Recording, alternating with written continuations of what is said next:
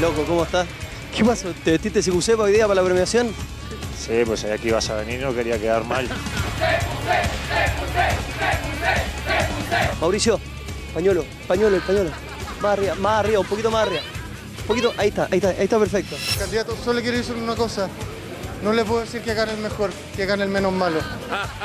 Si sale campeón Colo Colo, ¿te venía a presentar los top 5 con nosotros? Dame una semana para pensarlo.